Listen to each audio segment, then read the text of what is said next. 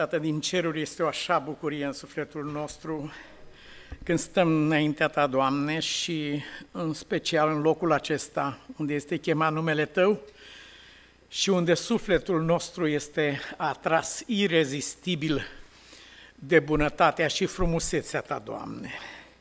Rămâi dar în ceasul acesta cu noi, condune sufletele la izvoarele apelor vii, așa cum ai spus, Doamne, și frânge Tu pe masa sufletului nostru pâinea vieții pe care ne-ai făgăduit-o. Fă, Doamne, ca astăzi Duhul Tău Sfânt să ne călăuzească în tot adevărul așa cum ai promis Tu. Și pașii noștri conduși de El să ne ducă în final la ținta vieții noastre, care ești Tu, Doamne Iisuse. Ne închinăm și Te binecuvântăm în veci. Amin. Să luăm loc.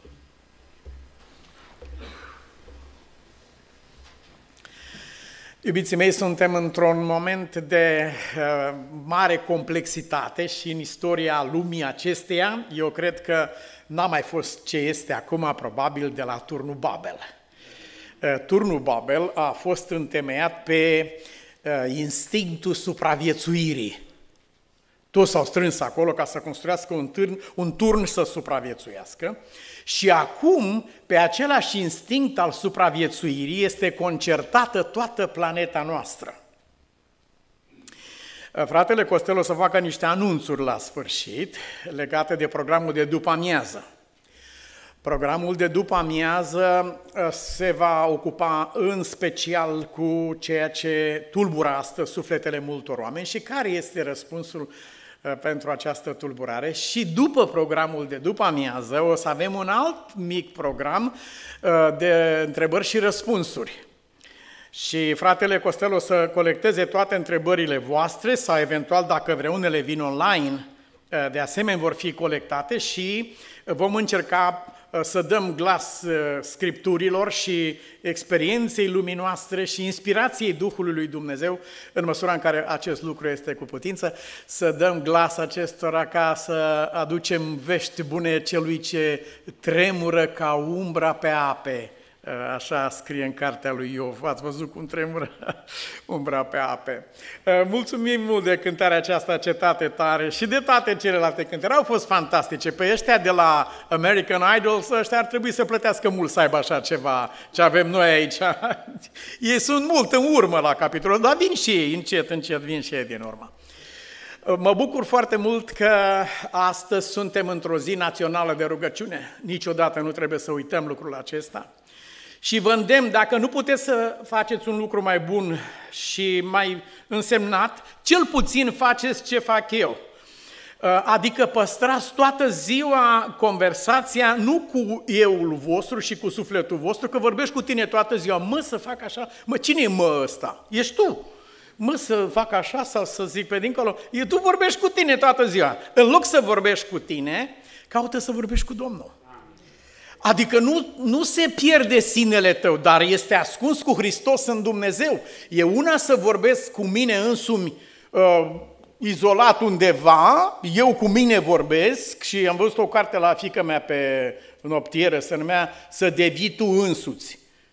Păi ce să mai, mai devii mai tare de cum sunt eu însumi? N-am cum. Dacă e vorba să devin ceva, atunci 2 Corinteni, capitolul 3, spune altfel, zice, noi privim cu fața descoperită ca într-o oglindă slava Domnului și în timp ce privim acolo, devenim. Suntem transformați, nu ne transformăm, nu e lucrul nostru acesta, ci suntem transformați în timp ce privim chipul acesta al Domnului Hristos în asemănarea chipului Lui. Dar noi suntem transformați oricum indiferent ce privim, rău sau bine, suntem transformați în asemănarea lucrului asupra căruia ne ațintim privirea noastră, să ațintim privirea noastră, știți ce frumos ne îndeamnă epistola către Trăim într-un univers care se expandează continuu. Toate lucrurile progresează potrivit poruncii lui Dumnezeu, creșteți. Din nefericire crește și neghina. Dar aș vrea să nu fim negativiști aceia care din tot lanul acesta imens al lui Dumnezeu nu vedem decât neghina. Nu! Este și greul acolo. Crește și el, cresc împreună până la secere și crește, totul crește. Chiar și uh, frații noștri atei, uh, ateu nu există ca atare, este o etichetă cu totul falsă. Nu, e vorba de, de un alt Dumnezeu. Nu e vorba de ateu. Ateos nu există ateu. Satana nu este ateu. Atunci acum o să fie un om mai jos decât satana? E, trebuie să gândim puțin. Nu are sens să discutăm lucrurile. Ateu nu există ca atare. Deci asta este o etichetă. Dar, dar, noi, oamenii, suntem suficient de nebuni încât să facem din propria noastră minte un Dumnezeu. Ce gândim noi, ăsta e Dumnezeu. Ei, vreau să vă spun că și frații care nu cred și s-au declarat că nu cred în Dumnezeu și, și cred în Dumnezeul minților, chiar și frații aceștia, au făcut doi pași uriași în generația noastră. Și acum tu scrii pe o foaie de hârtie care sunt acești doi pași uriași care au fost făcuți în generația noastră. Numărul 1. Înainte ei au îmbătat popoarele cu ideea că universul acesta este etern. E din totdeauna și va fi pentru totdeauna. Cu asta au îmbătat popoarele și așa s-a născut comunismul și ateismul. Acum, oamenii aceștia, binecuvântați de Dumnezeu cu tehnică și tehnologie nemai auzită în istoria lumii, au văzut că universul în care suntem noi nu stă pe loc etern, cum a fost dintotdeauna, ci se expandează continuu, continuu, continuu se dezvoltă. Și au spus, este clar că a existat un început pe care ei l-au numit Big Bang. Bravo lor! Și am zis, bine, e bine cu Big Bang, cum rămâne cu The Big Banger acum? E, de, ei nu vor să treacă mai departe de Big Bang, ca să vedem dacă nu cumva a fost un Big Banger înainte de Big Bang. Dar e, e, e bine, e nemaipomenit, este un pas uriaș, uriaș, uriaș în istoria omenirii, faptul că oamenii au recunoscut că există un început. Care sunt primele cuvinte din Biblie? Tare, tare! E clar, la început. Deci Biblia afirmă că există un început și dacă există un început, există un începător. Acesta a fost pasul numărul unu care s-a făcut în generația noastră. Scuzați-mă, și pasul numărul doi, fantastic de important, noi trăim într-un univers care expandează. Pasul numărul 2 a fost recunoașterea faptului că orice lucru creat în universul nostru este precedat, adică înainte de crearea lui, este precedat de un plan complet. Ochiul Spre exemplu, aveam o profesoară de biologie la liceu și când în vremea aia nu aveai voie să mărturisești pe Dumnezeu, că nu credea tătul cu Stalin în el și era el Dumnezeu. Voi, voi nu ați trăit în generația aia, dar mă gândesc că unii frați care sunt pe aici, ei au apucat. Știți ce imn cântau pe vremea aia oamenii? Slavă lui, slavă lui despre Stalin. Nu era adevărat că sunt atei, ci s-a făcut pe sine Dumnezeu și lumea cânta acestui Dumnezeu. Vreau să mărturisesc faptul că al doilea pas în știință, în cunoaștere, recunoașterea faptului că există un plan complet. Lucrul acesta chiar nu poate să fie apreciat îndeajuns. Înainte ca ochiul tău să înceapă să fie construit, atunci când se naște o ființă umană, Există tot planul până la sfârșit al ultimei celule cu con, cu bastonaș, cu toți miliardele de nervi care conectează cu nervul optic și așa. Există tot planul uh, acolo. Pe baza acestui plan se construiește ochiul uh, atunci când se naște un copil. Și orice defecțiune în planul ăsta cu miliarde și miliarde de date face să se nască ceva defect, ceva rău. Dar planul există mai înainte. Am uh, uh, am avut și păstrez memoria unui prieten, mare prieten și mult, mult apreciat om, uh, doctorul Iacono, unul din cei mai mari neurochirurgi care au trăit pe această planetă, a murit într-un accident de aviație. La mormântarea lui, oameni de specialitate au spus, zice, o medicina va face referire la cercetarea omului ăstuia 500 de ani de acum înainte. Așa au spus ei acolo, atât de important. Omul acesta mi-a explicat, uite, când se formează scheletul uh, aici în, uh, în uterul mamei, când se formează scheletul, se uh, formează, este o micuță, un micuț orificiu care apare acolo. De ce este acolo, nimeni nu poate să explice. Prin el va coborâ și va intra un nerv, dar orificiul e făcut înainte ca nervul ăsta să vină acolo. E totul pregătit. Acum, noi oamenii am fost suficienți de nebuni cum spunem, salm, nebunul zice în inima lui nu este Dumnezeu. Am fost suficient de nebuni să putem să gândim așa ceva vreodată, că tot ce se vede, chipurile s-a întâmplat prin rostogolire, prin, prin împiedicare, prin întâmplare, tot ce se vede. Dar n-am fost nebun la nivelul ăsta niciodată. Deci planeta noastră nu a fost în halul ăsta de nebună niciodată. Din ce cauză? Că în generația noastră avem dovezi și evidențe care nu au fost niciodată până acum. Dacă înainte cineva avea scuze, să zicem de un fel sau altul, dar Biblia spune, zice, nu, e fără scuză nimeni.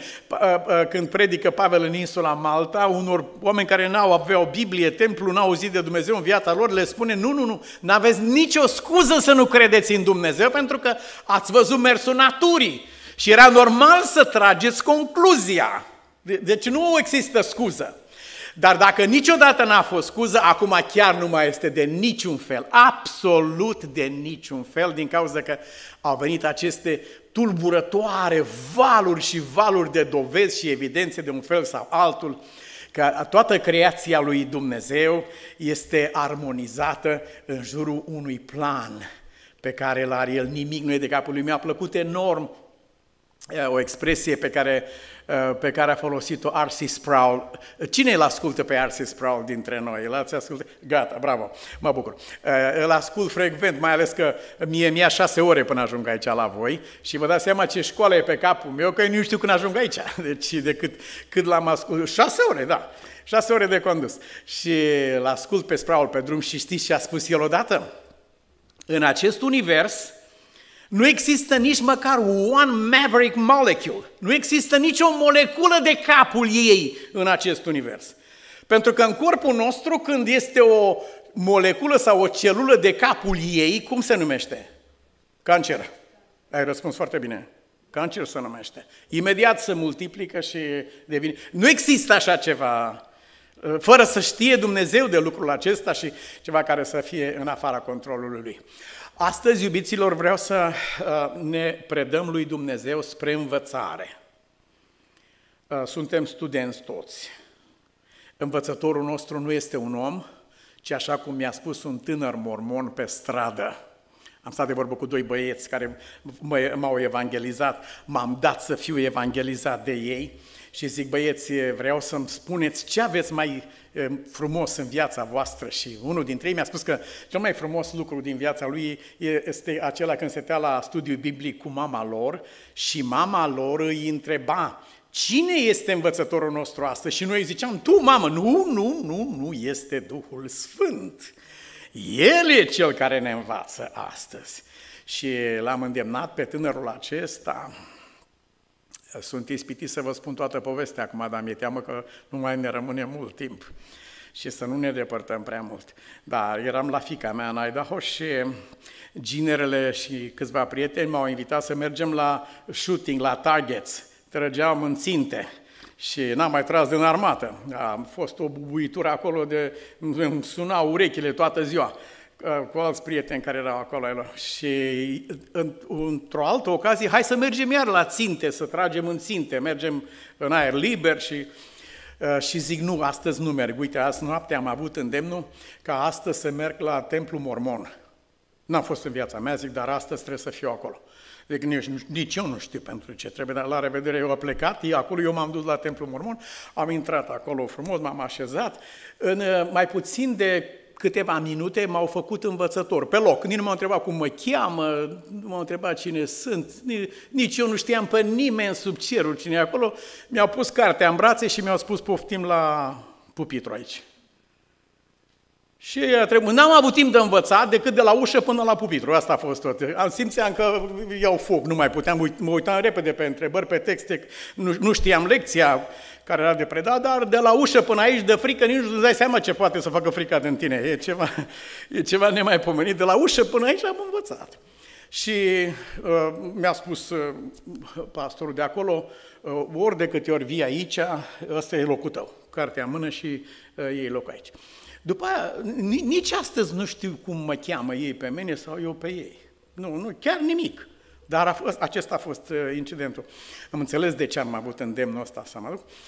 În fine, uh, i-am spus ginerului meu și fiicei, zic că mă duc pentru că azi noapte mi-a venit clar în minte că într-o zi o să stau în fața la doi tineri mormoni care mă vor întreba dacă vreodată am participat la o slujbă într-un templu mormon. Și eu trebuie să spun, da, am participat și acum nu pot să spun chestia asta până nu particip.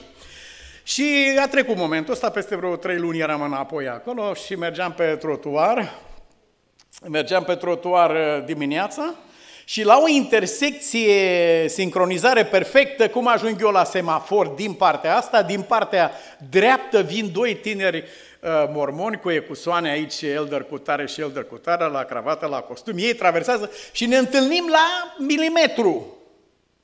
Hai, salut! Parcă era întâlnirea programată laser. Și stăm de vorba acolo cu ei și întrebarea lor către mine – ai participat vreodată la un serviciu în templu mormon? Yes, sir. Da, domnule, zic. Am participat și nu uita, I am a teacher in the Mormon temple. Oh, so you are a teacher și a luat drept imediat, uh, a luat poziția de drept. Zic că eu predau acolo la templu mormon. Wow, a urmat discuția, a urmat rugăciunea acolo în stradă și ei mi-au cerut să mă rog pentru ei. Rar sunt. Ei să roagă pentru tine, dar nu tu pentru ei. Și acum am avut uh, prilejul acesta. Iubiții mei, este uh, o, ceea ce se întâmplă acum în această adunare, trebuie să fie privit ca fiind o lucrare a Duhului Sfânt. Noi suntem călăuziți de Duhul lui Dumnezeu. Noi nu umblăm de capul nostru. Cuvântul ăsta nu e cuvânt de capul lui. Prezența ta aici nu e ceva care vine de capul tău. Nu. Voi umblați călăuziți de Duhul lui Dumnezeu. Astăzi trebuie să plecăm de aici, așa am avut, mi-a așezat pe suflet Dumnezeu, trebuie să plecăm de aici cu o expresie simplă, două cuvinte. Și pe aceste două cuvinte le vom găsi noi în Cartea Faptelor Apostolilor, capitolul 4. O să citim după aceea uh, mai de sus, dar acum o să citim direct în versetul 11. Și din versetul 11 aș vrea și sunt îndemnat și supun atenției voastre și bunăvoinței voastre numai două cuvinte uh, pentru care mă rog lui Dumnezeu ca fiecare din noi să le luăm în suflet și să plecăm acasă. Aceste două cuvinte sunt următoarele.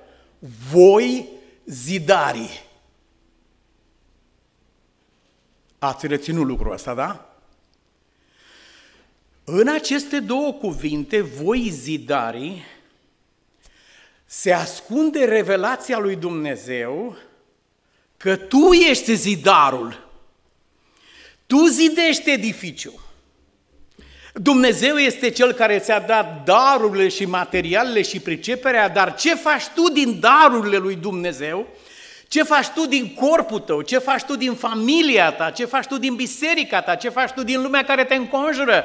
din cei de la locul de muncă, ce faci tu din aceste lucruri este produsul faptului că zidarul ești tu.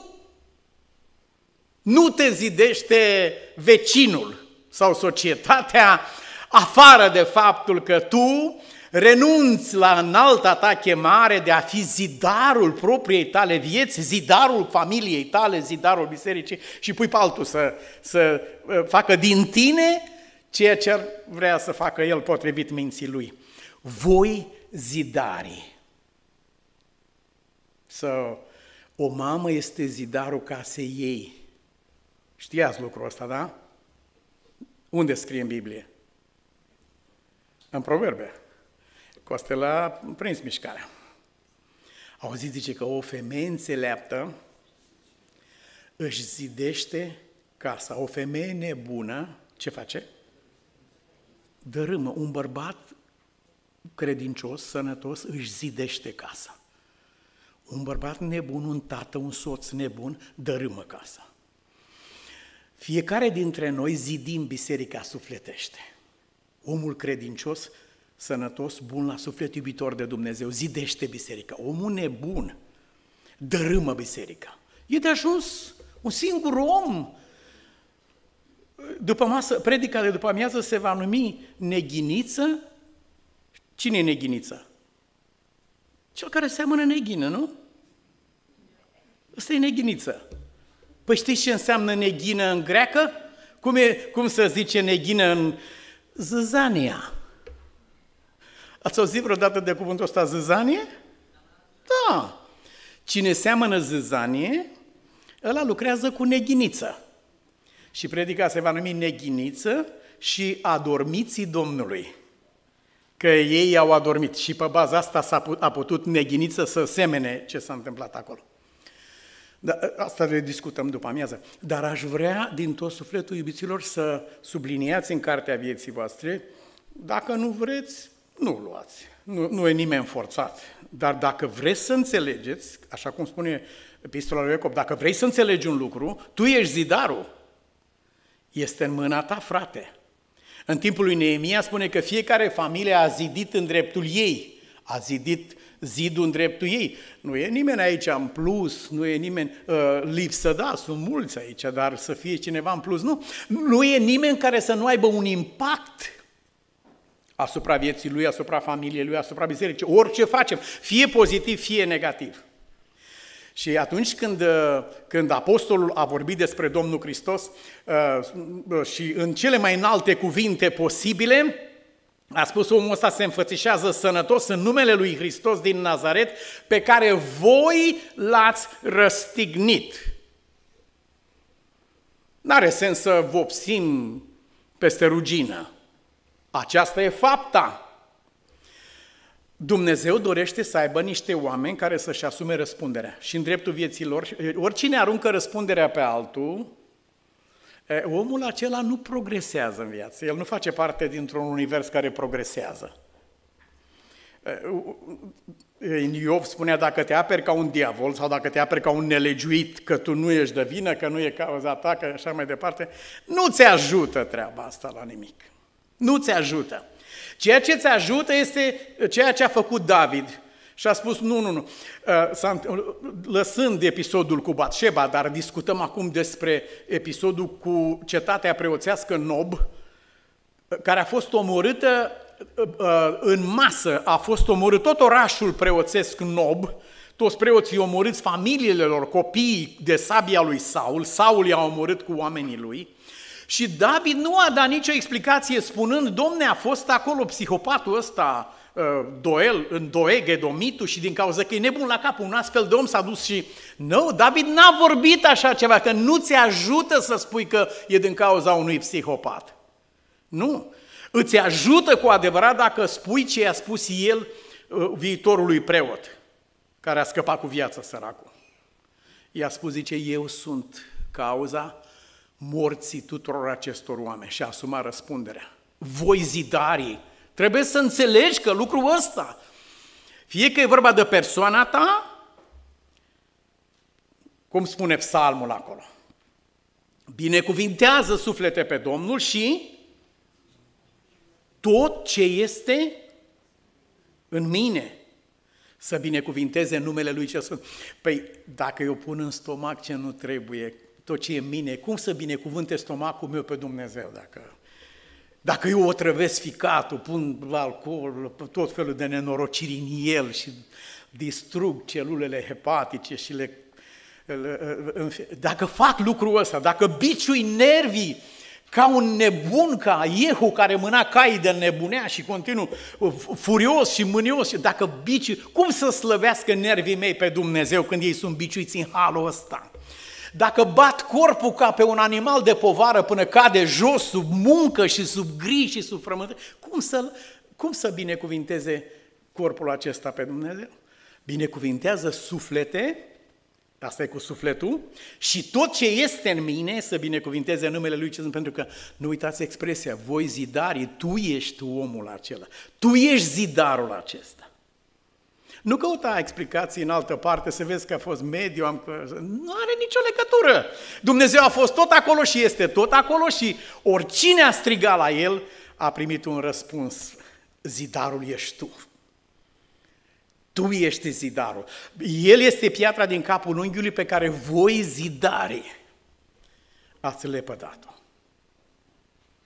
Și v-ați așeza voi în locul pietrei din capul unghiului.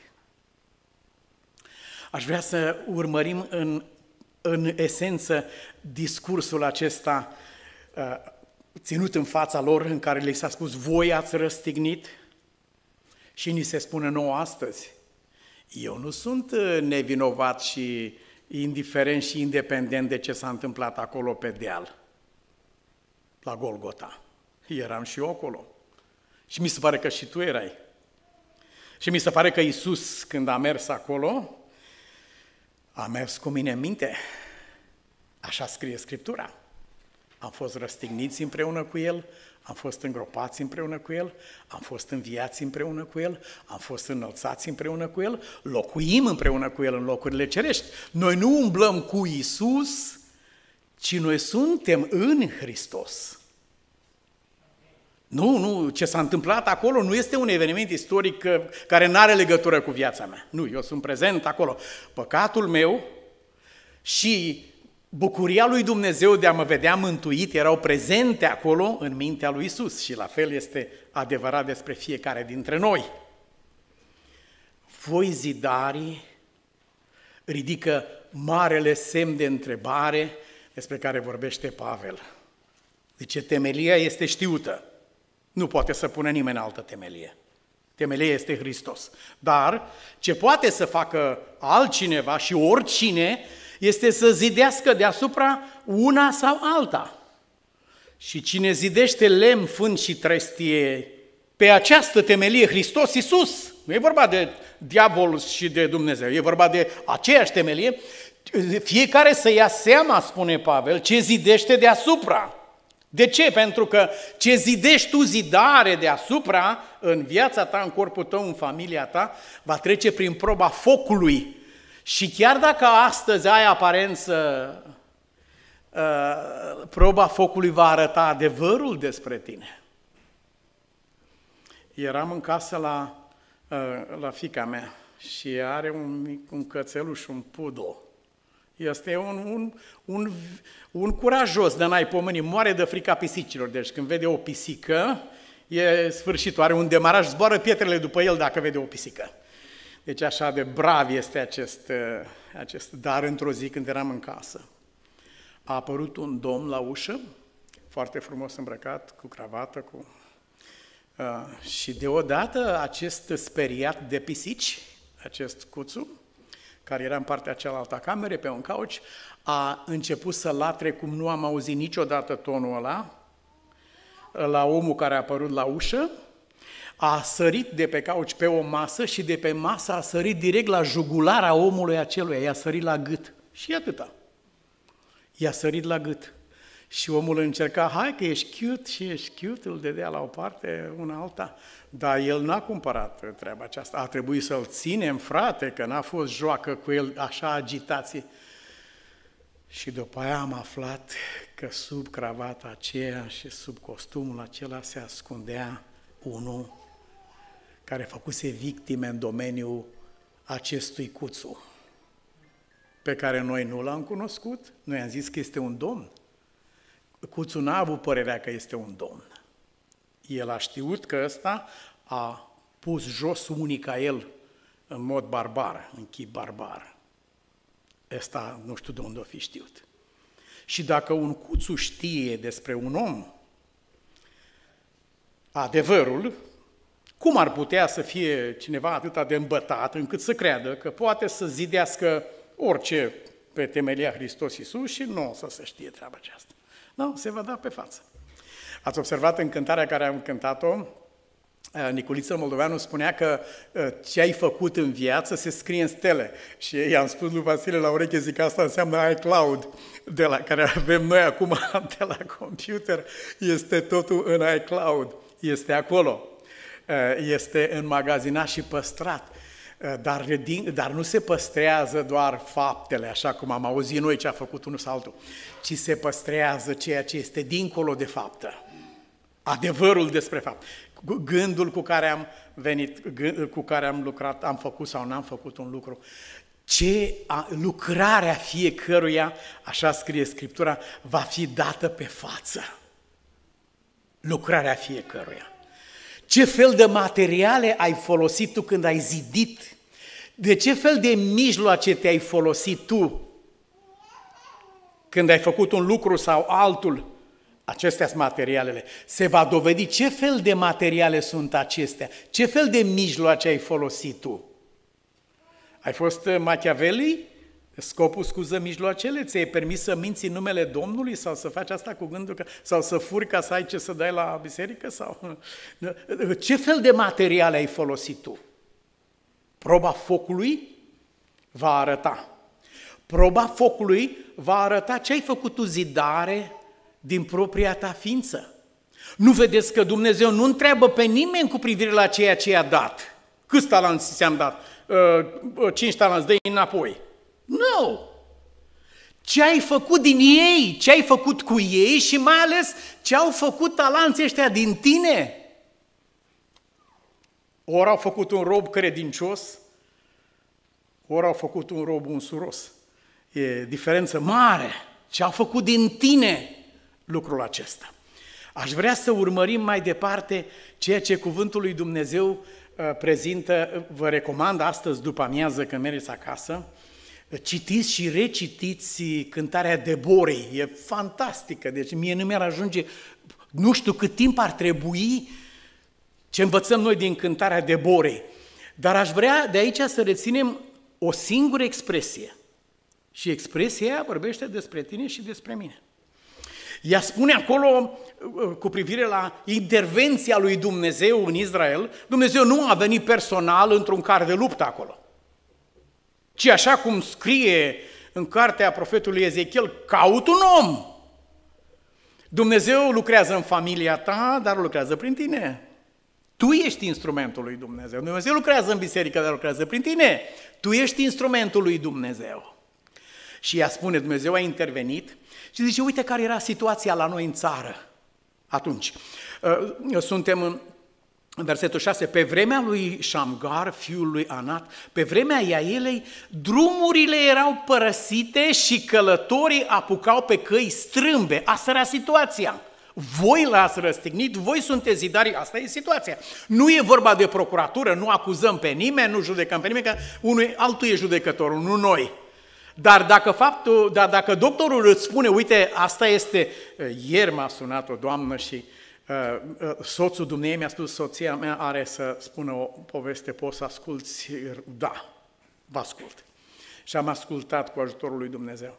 Dumnezeu s-a dus pentru o procedură simplă, uh, avea o piatră pe un canal sau ceva de felul ăsta și au descoperit o tumoră pe ficat și s-a dus uh, la spital voioasă și s-a întors de acolo acasă condamnată.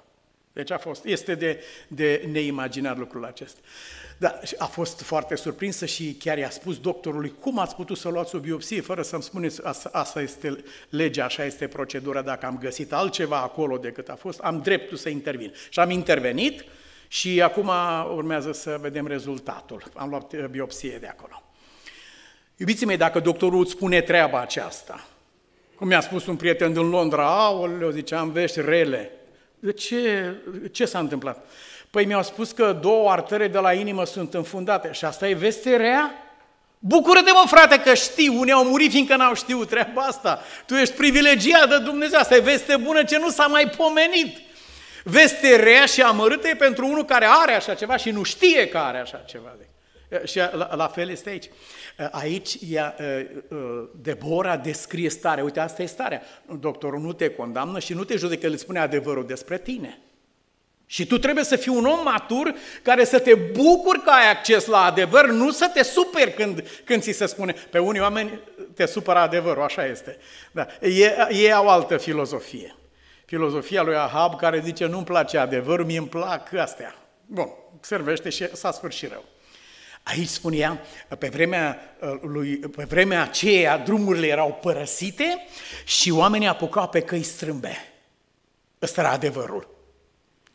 Căpeteniile, conducătorii bisericii, ai familiei, ai țării erau fără niciun fel de putere, fără putere, toate astea s-au întâmplat până când m-am ridicat eu ca o mamă în Israel.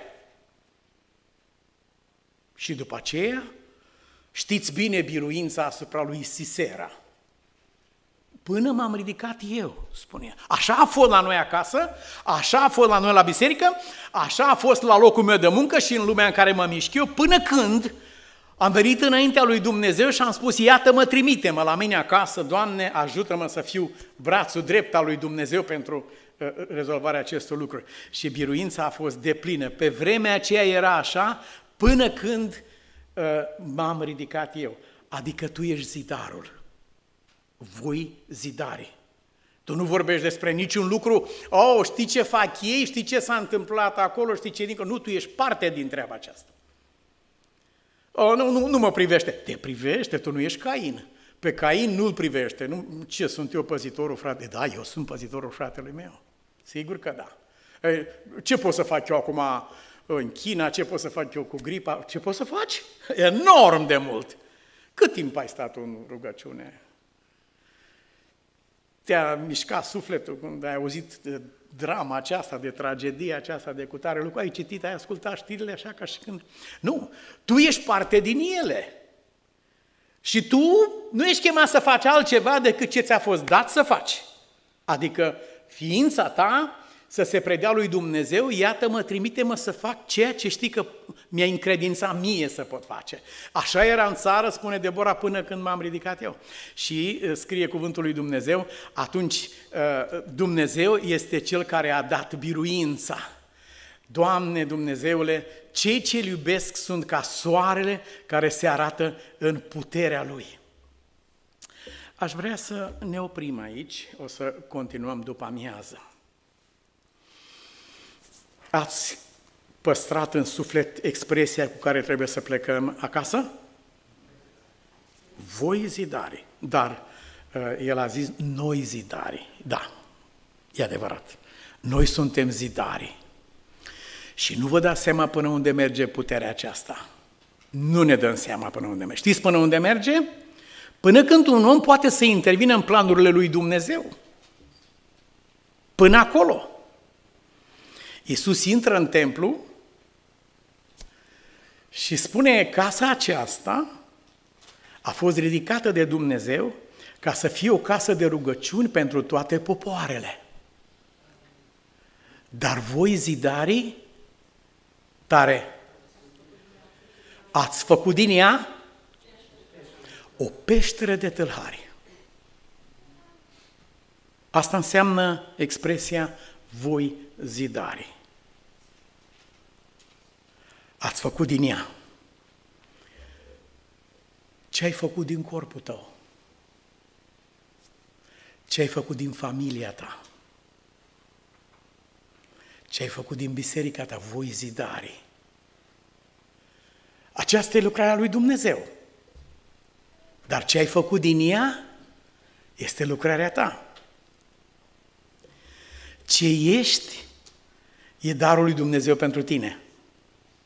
Ce devii este darul tău pentru Dumnezeu. Întorci înapoi darul care ți-a fost dat. Cea mai frumoasă făgăduință se găsește acolo în cuvintele lui David, în cuvintele din faptele apostol, Domnul va ridica iarăși cortul lui David din prăbușirea lui, va zidi iarăși cortul. Poate că ești un cort prăbușit. Poate că ai motive să spui, n-ar avea rost să merg mai departe. Ori încotro mă uit în familia mea sau în urma mea, oriunde mă uit este un lanț de eșecuri. Ia, poate că e cortul prăbușit, se dezbină familia sau biserica sau lumea în care poate că este așa. Dar aceasta nu este o scuză pentru noi să întoarcem spatele lui Dumnezeu, ci este un îndemn să întoarcem fața spre Dumnezeu, pentru că El a promis, voi ridica iarăși, voi zidi iarăși cortul lui David din prăbușirea lui. Și capitolul 1 din Isaia pune degetul și spune pe rană și spune așa, dacă ar fi rană din crește până în tălpi, veniți să ne judecăm și ceea ce este roșu ca păcatul va deveni alb ca zăpada. Și ceea ce este violent, rău, mirositor, cumplit ca moartea, va fi blând și frumos ca nălbitorul, cum nălbește el lucrurile. Aceasta vrea să facă Dumnezeu din sufletul nostru. Voi zidari. Să fiți binecuvântați de Dumnezeu și El să ne ajute ca așa cum ne-a fost arătat chipul Domnului Hristos, așa să ne zidim sufletește și noi pe credința noastră prea sfântă, prin care cuvântul lui Dumnezeu a spus, cel ce privește își zidește sufletul lui și este schimbat în asemănarea aceluia pe care îl privește. La aceasta să ne ajute Dumnezeu pe noi toți. Amin.